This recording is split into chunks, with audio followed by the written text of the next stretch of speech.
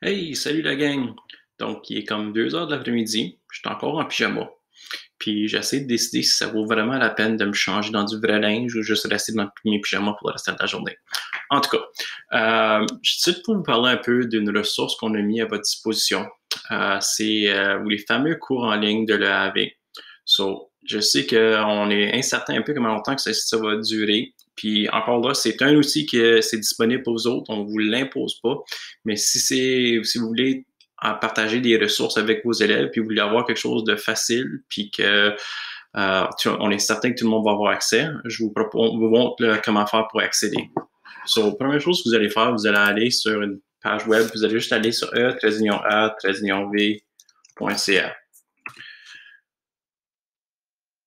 va t'amener à la page d'accueil tu vas cliquer en haut ici sur connexion.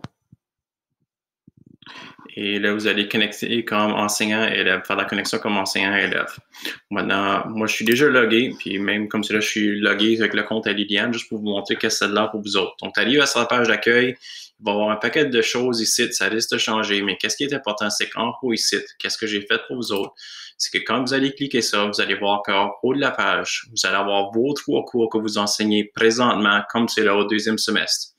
Ce site, c'est déjà lié à Trillium. Vos listes de classes sont déjà à jour. je vais juste vous montrer vite fait comment vous pouvez juste comme, présenter un contenu pour ta classe ou un thème.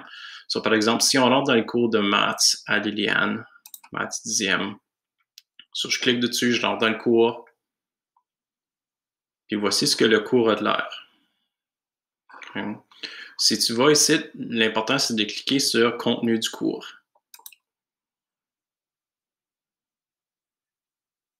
Puis là, automatiquement ici, en, éclatant ceci, on peut voir toutes les différentes unités dans ce cours-là. L'unité 0, c'est toujours là qu'on retrouve les tests puis un sommaire des différentes unités. C'est une bonne façon de savoir un peu comme où est-ce que tu t'en vas. Donc, si je regarde ici, puis je regarde, OK, l'unité 1, ici, on va parler de la vitesse, la course, interprétation graphique. Ah, j'ai déjà couvert ceci.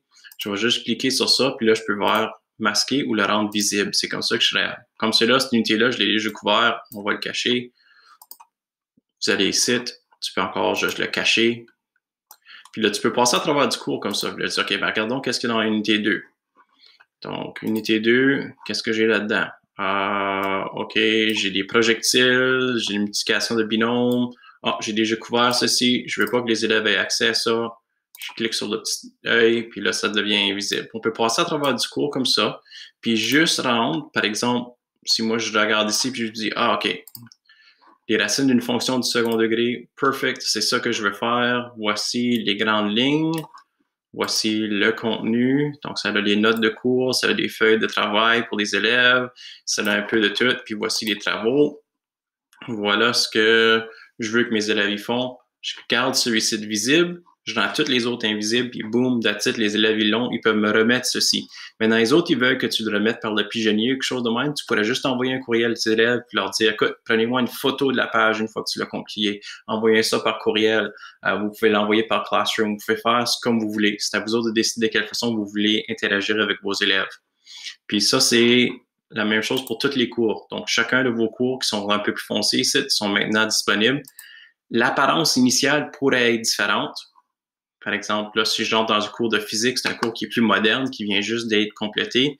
Donc, l'apparence est un peu différente, c'est plus fancy, il y a des beaux vidéos, il y a comme un peu de tout, mais c'est la même idée, c'est si tu cliques sur contenu du cours, Et encore là, tu as ici, par exemple, donc physique 3U, puis vous avez tous les modules qui sont dans ce cours-là que les élèves peuvent accéder. Tu rends ceux que tu veux pas qu'ils voient invisibles, tu rends ceux que tu voulais qu'ils travaillent visibles et vous avez fini.